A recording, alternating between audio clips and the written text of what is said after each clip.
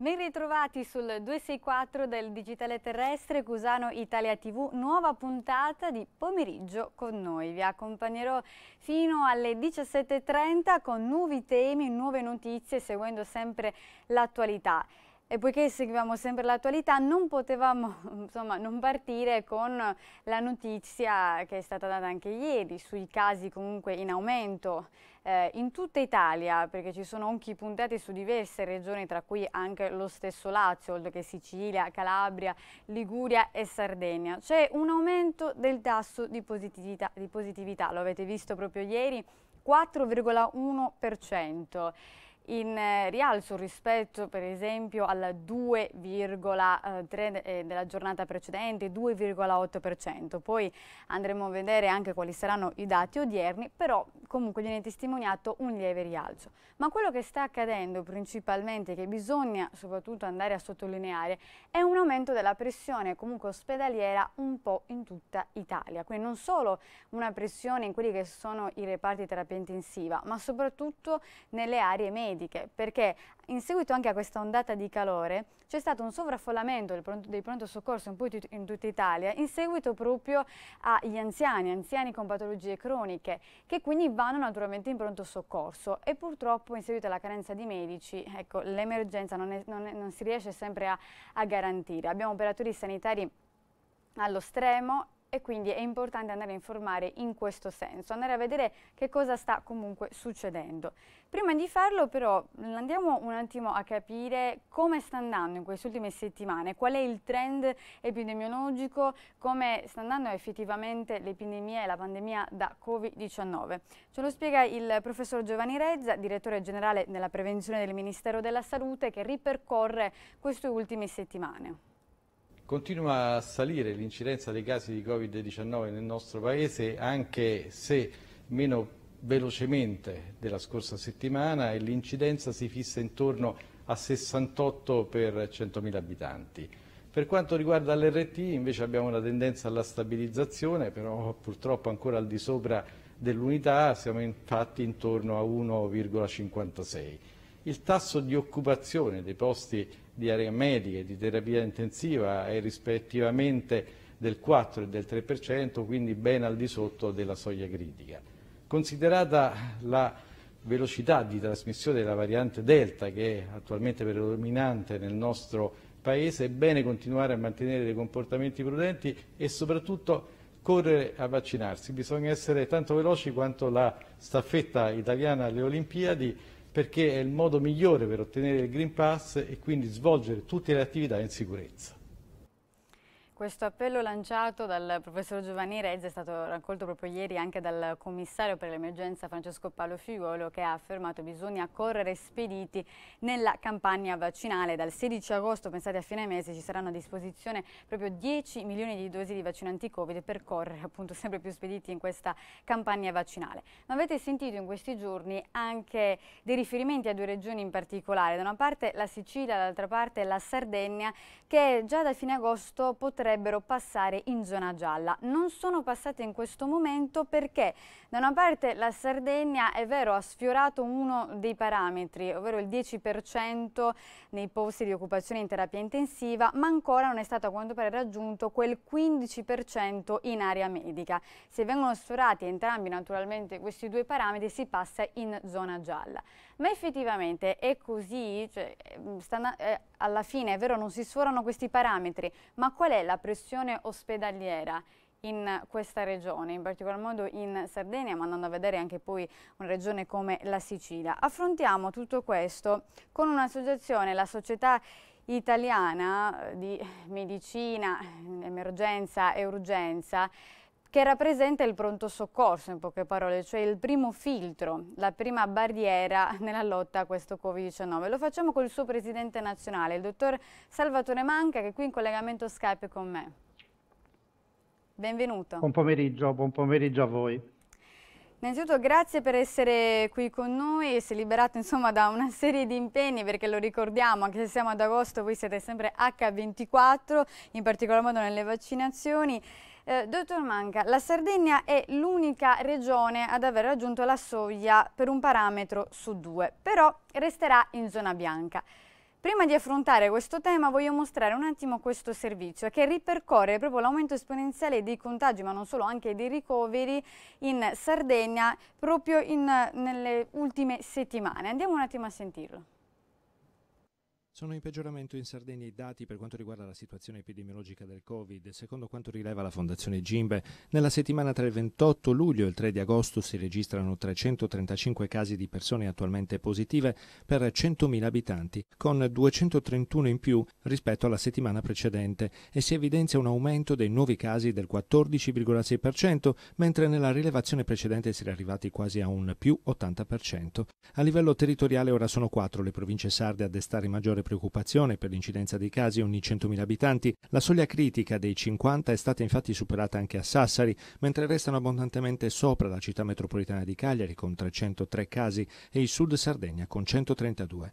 Sono sotto soglia di saturazione i posti letto occupati da pazienti Covid-19. In area medica sono il 5%, mentre viene confermato il raggiungimento del limite del 10% nelle terapie intensive, che mette a rischio la permanenza di fascia bianca della Sardegna. A prescindere dal contesto epidemiologico, però, domani anche nell'isola parte l'obbligo di esibire Green Pass per l'accesso a una serie di attività economiche come quelle dei servizi di ristorazione svolti da qualsiasi esercizio per il consumo al tavolo e al chiuso, un cambio repentino di abitudini che sarà difficile da far digerire a gran parte degli italiani, considerato che i vaccinati sono più o meno la metà e che tutti gli altri, per avere il certificato verde aggiornato, dovranno effettuare tamponi ogni 48 ore.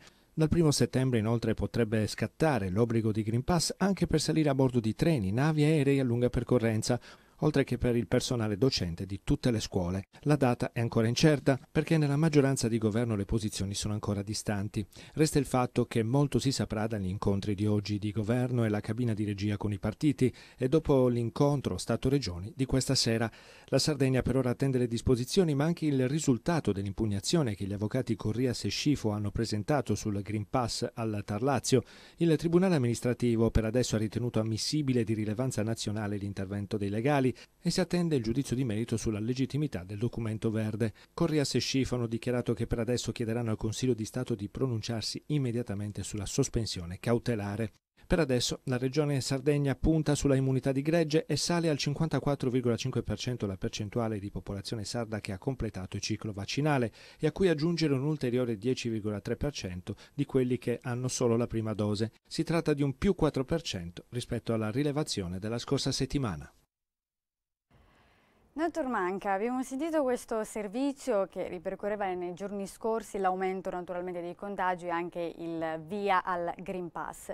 Le chiedo, perché bisogna anche spiegarlo ai nostri telespettatori, è possibile che si parlava di una Sardegna che fino a poco tempo fa rischiava eh, in, proprio in maniera imminente la zona gialla per il parametro delle terapie intensive? Come mai questa settimana la Sardegna rimane però ancora zona appunto bianca, nonostante il Corriere della Sera riporta proprio questo dato.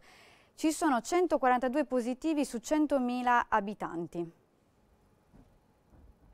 Eh, allora, la situazione in Regione Sardegna è sicuramente preoccupante per eh, due motivi principali.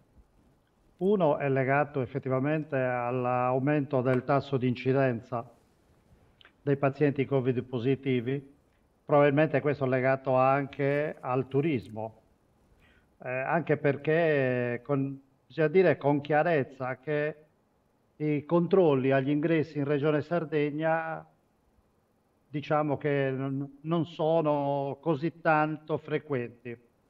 Glielo per dico io, chiaramente... sono nulli. Glielo dico io, esatto. sono nulli.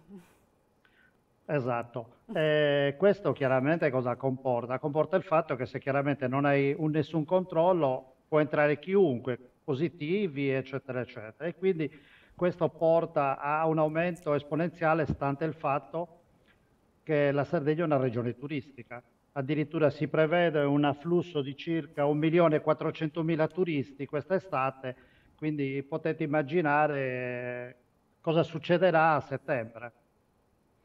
Eh, un altro dato poi è quello legato alle problematiche ospedaliere. Eh, la Regione Sardegna è in enorme sofferenza per eh, vari motivi. Eh, uno dei, dei, principali è legato alla grave carenza di dotazioni organiche un po' in tutti i servizi ospedalieri, in tutti i reparti ospedalieri, a partire dai servizi di emergenza, pronto soccorso, eh, servizi a 118, ma anche i reparti di internistica e di terapia intensiva.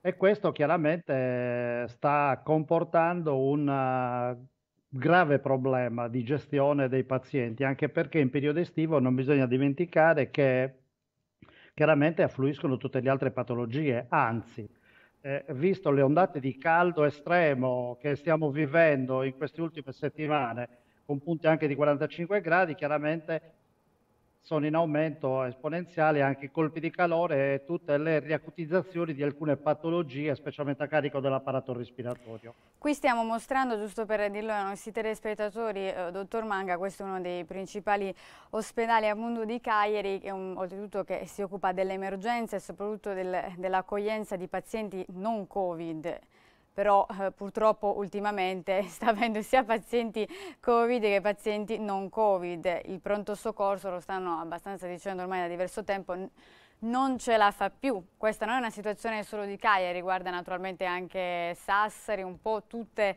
eh, comunque la pressione ospedaliera sta aumentando un po' in tutte le regioni italiane. Certo. Eh, la situazione, ripeto, è drammatica. Questo è un articolo che riguardava l'ospedale Bruzzo di Cagliari, principale ospedale in ambito regionale. Ma questo problema si ripercuote drammaticamente anche negli altri ospedali. Abbiamo visto gli articoli su Sassari, le problematiche legate all'ospedale di Nuoro, all'ospedale di Oristano che ha avuto il pronto soccorso chiuso per circa 40 giorni e ha rischiato anche la settimana scorsa di restare chiuso per un aumento dell'afflusso di pazienti Covid positivi. Questo è legato al fatto anche che probabilmente non c'è un'ottimale programmazione in ambito regionale sulla predisposizione dei reparti Covid. Ogni, io ho notato che ogni volta che si attenua, che si attenua la, l'incidenza dei pazienti Covid positivi, automaticamente sembra quasi che il Covid sia scomparso. Per cui tutta una programmazione che invece dovrebbe esistere e esisterà per anni perché non bisogna dimenticare che i servizi ospedalieri dovranno per anni continuare a avere i percorsi differenziati. Questo perché chiaramente non, non si vede la fine comunque dell'incidenza del Covid, stante il fatto delle numerose varianti e delle problematiche legate comunque al ritardo nelle vaccinazioni. Proprio su questo punto voglio mostrare il ritardo delle vaccinazioni perché non solo abbiamo visto che eh, lei me lo confermerà nei ricoveri, la maggior parte, in seguito anche alle varianti che ci sono, sono persone comunque non vaccinate, lei me lo, me lo conferma, no? Esattamente, esatto. per, il, per il 98% sono persone non vaccinate. Non solo, l'età mediana si è comunque abbassata a 27 anni. E il problema è che non, non ci sono, dottor Manca, solo persone adesso, perché mh, comunque c'è anche una parte minoritaria di persone che sono riluttanti e non hanno voluto fare il vaccino, ma purtroppo ci sono tanti giovani, e questo io ho fonti proprio che arrivano anche dalla stessa regione Sardegna, ma anche in Sicilia, che purtroppo giovani che si sono prenotati magari al vaccino, ma ce l'hanno molto in ritardo e quindi tutto questo porta un rischio. Certo, certo, probabilmente anche a livello nazionale è stata fatta una programmazione per fasce d'età che verosimilmente andava orientata in modo differente. Eh, certo andavano pro protette le popolazioni anziane, però subito dopo sarebbe dovuto partire sulle popolazioni giovani, stante il fatto che ci si avvicinava al periodo estivo e quindi la gente chiaramente si muove molto di più e oltretutto dal punto di vista sociale i rapporti sono maggiori tra le persone giovani, quindi chiaramente andava predisposto un, un calendario vaccinale orientato sulle persone giovani. Chiaramente questo purtroppo i danni lo stiamo vedendo proprio in questo periodo dove è soprattutto tra i giovani che poi circola maggiormente il virus, ma eh, questo l'avevamo capito anche un paio di, eh, di, mesi fa. Andiamo a sentire innanzitutto anche le dichiarazioni riguardo alla campagna vaccinale del Presidente dell'Istituto Superiore di Sanità Silvio Brusaferro, poi commentiamo insieme e ritorniamo sulla situazione proprio del pronto soccorso. Grazie con la prima dose. Rimane ancora da segnalare però che la fascia di età più, più, alte, quindi quelle sopra i 60 anni, sebbene stiano crescendo, vedete anche il delta dei, dei colori si vede molto assottigliato, eh, in realtà crescono ancora molto lentamente. Quindi se guardiamo per esempio le persone eh, sopra i 60 anni, abbiamo ancora una percentuale di quasi 16-17% di persone che non hanno fatto neanche la prima dose e le persone sopra i 50 anni in questo caso sono una su quattro sostanzialmente, quasi una su quattro le persone che non hanno ancora affrontato la prima dose. E sappiamo che purtroppo anche queste fasce di età quando contraggono l'infezione sono le persone che eh, hanno il rischio più elevato poi di manifestare sintomatologia che è in qualche modo eh, complicata. Per quanto riguarda le caratteristiche di contrarre l'infezione, il dato anche questa slide ormai è diventata familiare, eh, continua a decrescere in qualche modo l'età mediana di chi contrae l'infezione, è coerente con i dati che abbiamo visto eh, per quanto riguarda le fasce di età eh, maggiormente, dove maggiormente circola o dove si verificano i nuovi casi. L'età mediana invece al primo ricovero rimane piuttosto stabile, come vedete intorno ai 50 anni, e questa settimana è a 52 anni. L'età mediana in terapia intensiva anche rimane sostanzialmente stabile, poco sopra i 60 anni. L'età mediana al decesso è Dottor Manca, un'ultima domanda, proprio in base anche alle dichiarazioni eh, rilasciate eh, dal Presidente dell'Istituto Superiore di Sanità. L'obiettivo a fine settembre di tutti i vaccinati, secondo lei è raggiungibile? A mio parere no, assolutamente no. Anche perché, guardi, devo dire con sincerità che la fascia di età tra i 60 e i 79 anni, che è quella che meno si sta vaccinando, è legata verosimilmente anche alla campagna di stampa che si è sollevata contro i vaccini a base di adenovirus. Per cui essendo questa la fascia di età in cui principalmente è indicato il vaccino AstraZeneca o Johnson, eh, le persone hanno, sono riluttanti perché hanno paura che gli venga proposta questa tipologia di vaccino. Per cui probabilmente modificando anche il calendario vaccinale con l'utilizzo dei vaccini RNA messaggero, spingerebbe molto di più le persone a vaccinarsi. Guardi, questa è un'esperienza che vivo giornalmente perché io faccio il medico vaccinatore essendo, essendo pensionato e vedo molto diniego da parte delle persone sull'utilizzo di determinate tipologie di vaccini e quindi chiaramente forse modificando il calendario vaccinale riusciremo a vaccinare molto di più le persone. Mm, dottor Manga, dal punto di vista comunicativo, lei lo ha detto, purtroppo il danno su AstraZeneca ormai è stato fatto. Si può recuperare. Questo, eh, ieri seguendo un po' di interviste anche rilasciate dallo stesso eh, Pierpaolo Sileri, eh, quello che si potrebbe fare è eh, principalmente anche andare a vedere il medico, il medico eh, di base, il ruolo del, del medico che deve in qualche modo informare, stare vicino comunque al paziente e forse invertire la rotta di questa comunicazione negativa che è stata fatta proprio sui vaccini. Eh, è vero, questo discorso è verissimo, però devo dire con estrema sincerità che dal punto di vista della medicina territoriale eh, non c'è tanta collaborazione, né probabilmente anche un'estrema conoscenza eh, sulla tipologia dei vaccini. Eh, per cui pazienti vengono veramente contrari alla somministrazione di determinati progetti di vaccini e devo dire che eh, dobbiamo fare un'azione proprio di convincimento sulle persone e per vaccinarsi anche sulla tipologia di vaccini. È una fase molto difficile, molto difficile.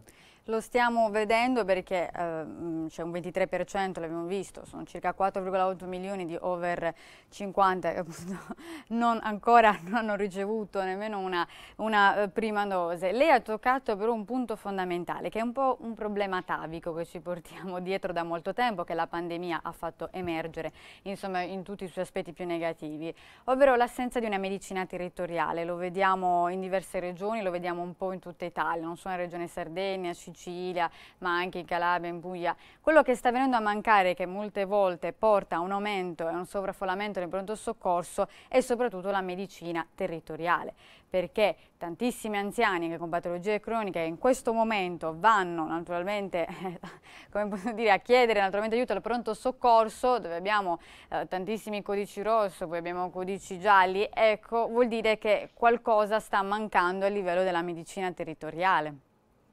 Certo, ma infatti guardi in Italia ci dimentichiamo troppo spesso delle cronicità.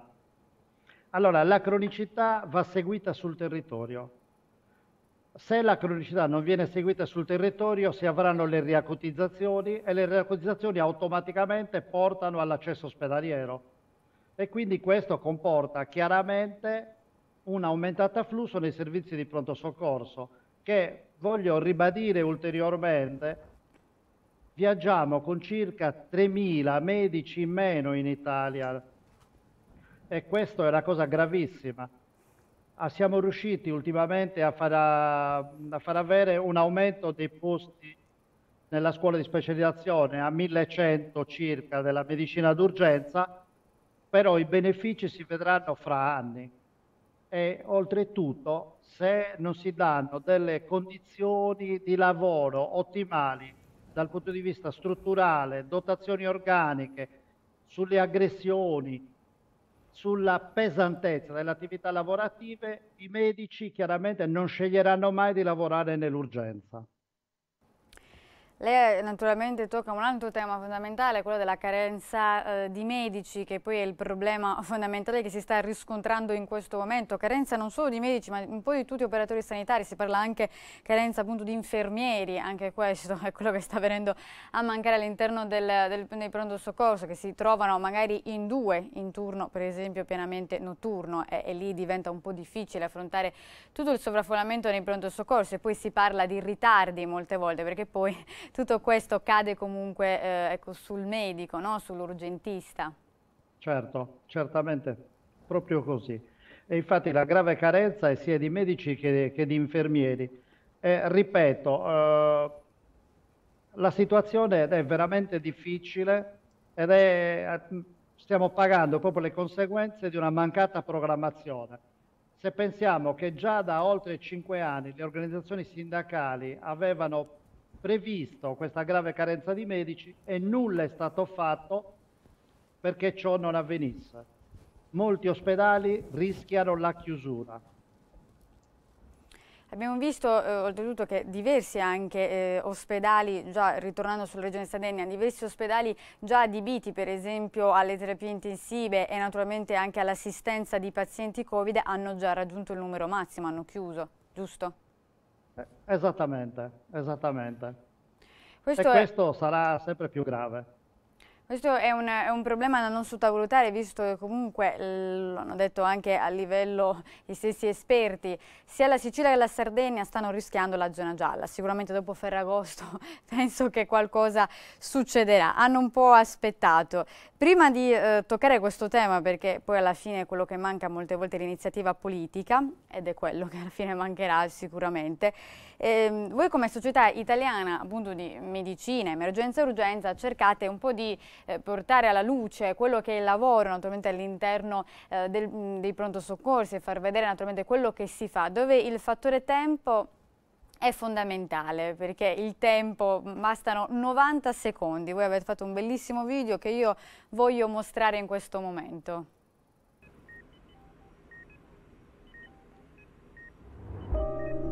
Dovrebbero esserci cose più importanti nella mia vita e ci sono, no? E però io, io faccio questo che devo fare. È come una famiglia. È davvero casa mia. È un pezzettino della mia vita. Per me è una fidanzata. È difficile. Il lavoro più creativo che c'è. È uno stile di vita, è un modo di vivere. Ecco, io posso dare ancora la vita. Il pronto soccorso o lo ami o lo odi e per me è la mia vita.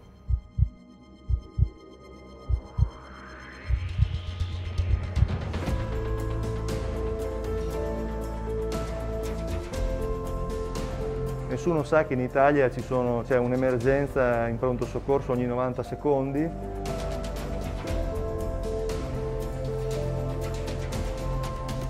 Sono momenti molto particolari questi in cui una coppia, marito e moglie, hanno l'infezione, vengono separati perché vanno in reparti diversi e il saluto è sempre una cosa molto toccante per tutti noi. Era il 20 di febbraio del 2020, quando veniva identificato il primo caso di coronavirus in Italia. Le mani di noi che li curiamo, no anzi li curiamo, la terapia e i ventilatori li curano, noi ce ne prendiamo cura. Essere infermiere è soprattutto questo, credo. Tanti di noi avuto, sono stati malati o hanno avuto parenti malati anche in modo grave ci sono dei momenti in cui nonostante il camice, la visiera, tutto quello che c'è di mezzo, veniva voglia di abbracciare il paziente, qualche volta l'abbiamo anche fatto. Compassione, compatire, patire insieme alla persona. Forse una caratteristica del medico d'urgenza è di essere curioso e di andare un po' a, a cercare quello che gli interessa in tanti campi diversi. Noi dobbiamo fare un po' i piccoli pneumologi, un po' i piccoli anestesisti rianimatori, un po' i piccoli cardiologi, però in fondo credo che noi dobbiamo essere i grandi medici d'emergenza e urgenza.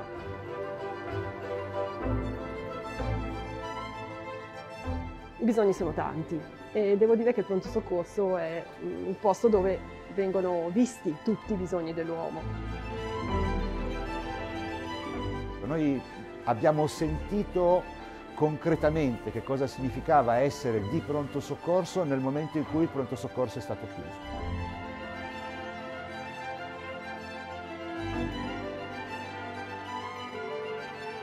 Se al mondo restasse un solo medico, sarebbe un medico di pronto soccorso, non potrebbe essere diversamente.